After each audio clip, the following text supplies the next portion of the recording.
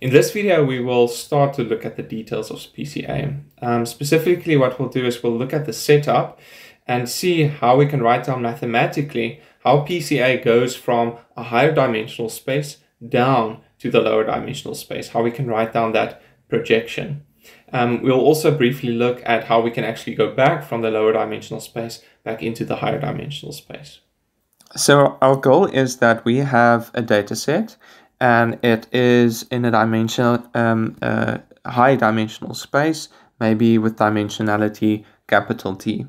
And what we want to do is we want to project data points in this high dimensional space to data points in a lower dimensional space. So we'll call those data points um, Z and um, that will be uh, have a dimensionality of m where capital M is smaller than capital D. Normally what we do is we assume that um, the data set, the input data set, the original data set, have been um, normalized so that it has zero mean.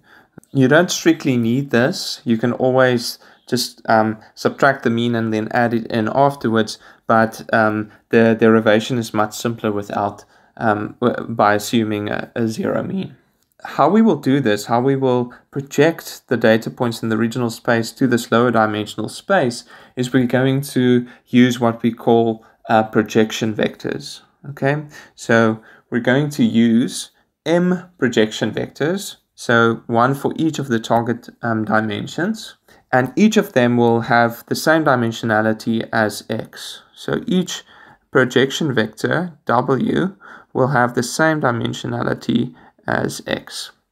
We will assume that all the projection vectors are unit length, so they just have a length of 1, and that they're orthogonal.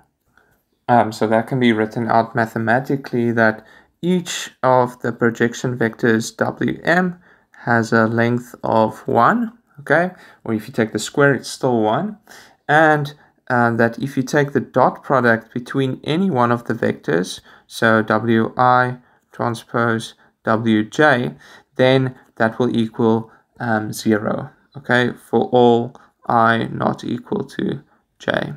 Okay, so that basically just means that all of the vectors, if you think about it in two or three dimensions, are 90 degrees with respect to uh, one another. Some textbooks refer to this as the loading vector or the principal component loading vector.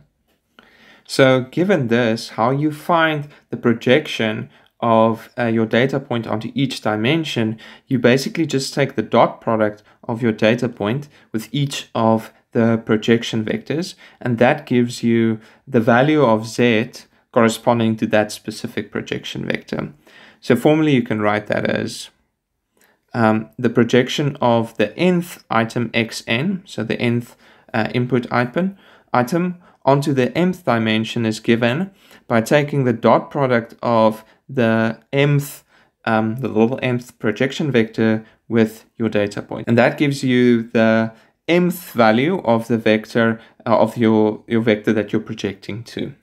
Okay, I'm not sure that makes exact, complete, perfect sense. So let's just look at the one-dimensional example. So where you have a data set where you've where you go from two dimensions and you just go to one dimension.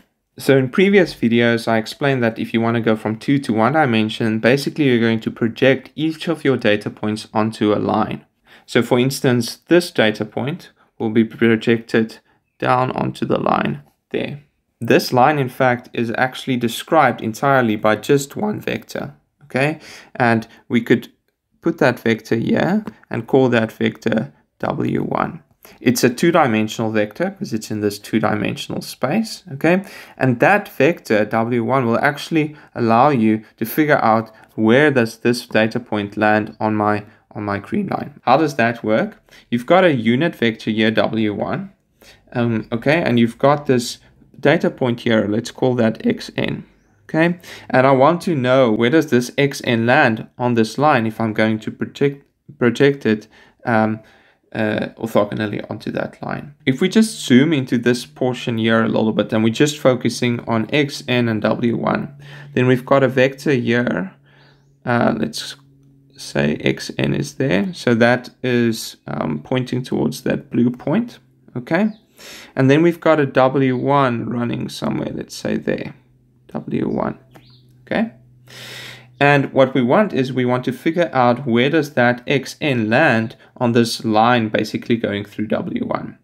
And the way you do this is basically by taking the dot product between this vector xn and the vector w1. The dot product between w1 and xn will basically give you this length here. Okay, and that's the length we're interested in. Okay, for xn, that actually, the length from here to here, for xn, that's actually zn. Okay, my projection onto my line. I'm going to replace xn with just this value here. And that's exactly what you see in this equation here. So if we just for a second remove the m here and the m here, okay, then um, we just make it a 1 and a 1, okay. Then we've got um, w1 transpose xn, okay, and that's simply the dot product between xn and w1 okay? And because W1 is unit length, that's actually going to give me this length here, or on this figure here, this length there, which is exactly what we want. That's, that's our projection. Now, if we are in a high dimensional case, so for instance, maybe we're in, we have data in three dimensions and we want to go down to two dimensions, then we're not just going to have one W vector, we're going to have a W1 and a W2. And that W1 and W2 is going to describe a plane. So let's see if I can draw this without it being super ugly. But let's say we've got a plane running here then as we've looked at in previous videos, then for example, this data point here will be projected onto this plane, okay, like so. And um, then this point here, that's the value that that point will get replaced with, okay.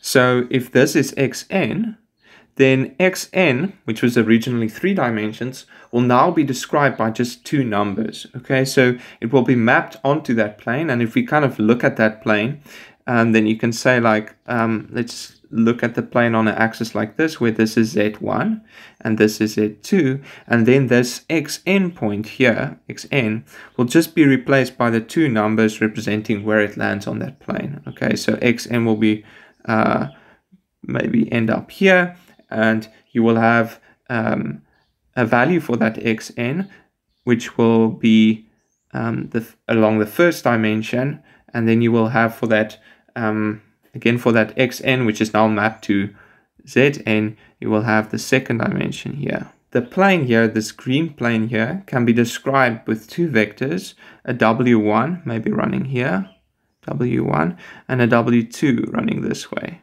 w2.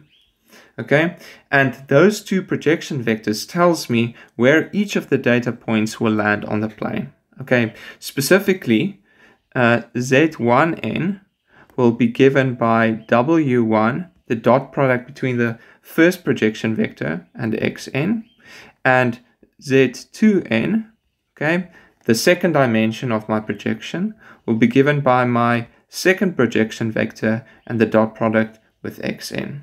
Okay, so that tells me exactly where my how I project all of my data points onto this lower dimensional space. And these equations here well, that's actually just exactly what I wrote down here for the two dimensions, for the case where we're going from three to two dimensions, okay?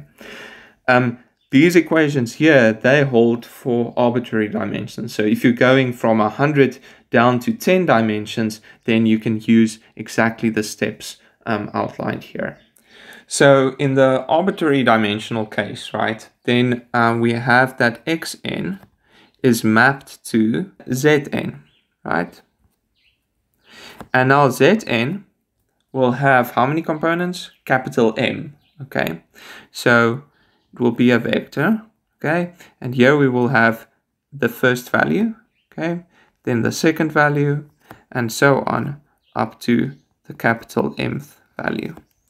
And we can write that out just from the previous slide. Remember that Z1n is just the dot product between my first projection vector and my um, data point. Z2n is my second projection vector dot product with my data point.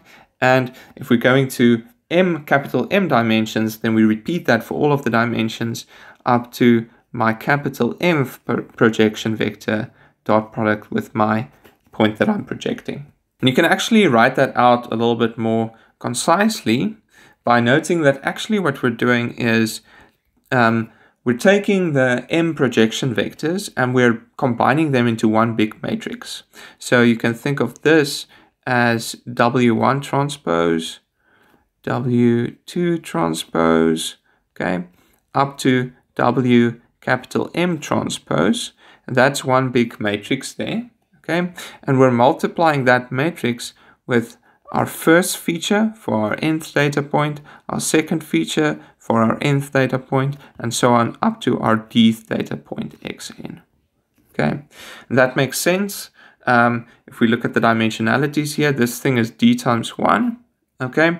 And then this thing is m times d, which means that the result of doing that gives me something that is m by 1, which is exactly what I want.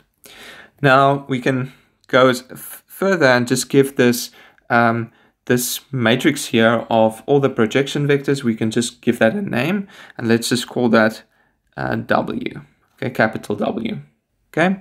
And what we're doing is we're just multiplying that matrix with our data point xn. Sorry, to be specific, we call the transpose of this W. In other words, W is basically just stacking along the columns. We're stacking W1, W2 up to W capital M. Uh, we've got M dimensions this way, and then we've got each of the projection vectors will be uh, d-dimensional. Okay, so it's a d by m matrix. And this will tell us um, if I give you a, a, specific data point and I give you the projection vectors, then you can map that to the lower dimensional embedding by just um, basically taking W transpose times xn one line of Python. So on that slide, that means that if I give you this xn in three dimensions, then just with one line of Python, you can get to the corresponding zn. Something else that we might want to do is we might want to be able to go from zn back to xn. Now that's actually not possible because we threw away a bunch of information, but we could get back to the point here in the three-dimensional space, which you can think of as the approximation for xn. Um, in a previous video, I spoke about um, one view of PCA as basically um, minimizing the reconstruction error. So we might want to use that um, to actually get back to an approximation of our data point xn in the original 3D space. Okay, so let's step quickly through the mathematics for doing that. So um, it's now the opposite process. What we did with projection is I give you the xn and I ask, get me an equation to get the zn, and we saw that that's pretty simple. Now we're going to do the opposite. We're going to try and reconstruct uh, x hat n from zn. So for that, I'm just going to describe the process of reconstruction when you go from two dimension to one dimension and then back to two dimensions. But um, you can easily extend that to the higher dimensional case. So here we've got a data set just with three data points, x1, x2, and x3. Okay, and we've got our projection vector, w1. So we've got this line. We project each of the data points onto that line. So that gives us a z2, a z3, and a z1 for the different data points. Okay. So if x3 is there, then the reconstruction for x3 will be that point there, x hat 3. Okay, I've told you how to get this distance, yeah, but I haven't told you how we're going to actually get back in a two-dimensional space to that point. Okay, but you should see that it's actually pretty simple. Okay, all we do is we take this length from there to Z3, okay, this length here, and we just, that's a scalar, and we just take that scalar and we multiply it with W1, right, because that's going to give us X3. This length is the same as that length. So if I want to get the vector for x hat 3, then I just simply take that length, times it with w1. w1 is a vector. I'm um, basically just scaling w1 so that I get back to x3. Just a reminder, w1 is, is unit length. Okay, so this thing will work. Okay, mathematically, um, sorry if I'm insulting your intelligence, but x hat 3 will just be equal to z3 times w1. So that's if we do that in one dimension. In general, you can actually extend this to arbitrary dimensions, right? So here um, we're just projecting to one dimensional data, but maybe we're projecting from 100 down to 10 or something like that. then we can find the reconstruction of xn by taking w, okay, this matrix that I defined on this side, and we just multiply that with zn, okay? And the idea is that um, x hat n should be similar to xn. And, and that just follows from the reconstruction view of PCA. Let's just check the dimensionalities here. W is the matrix of projection uh, vectors, which is defined here. So that would be D times M, okay?